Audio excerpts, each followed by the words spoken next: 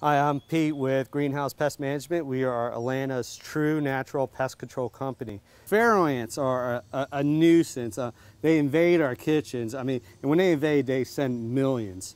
Um, the, the thing with them is that they're actually really easy to treat if you could find the actual issues. Uh, one thing that we found is we found a nice little ant trail that's actually coming up into his siding uh, over here. Um, so one thing that you need to do as far as the treatment is locate the actual nest.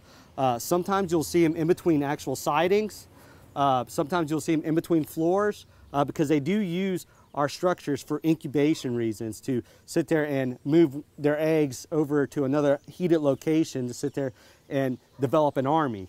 Um, so one thing to do is the best way to do it is don't spray your countertops, don't spray your windows. Go outside, find the source, eliminate them that way.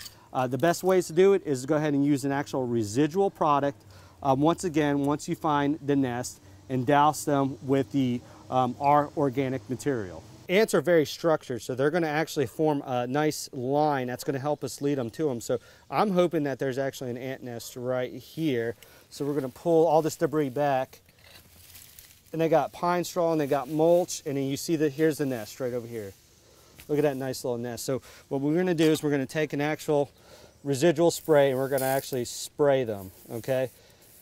Now, that's not all because you want to go ahead and coat every inch of the actual uh, pine straw and mulch that's here.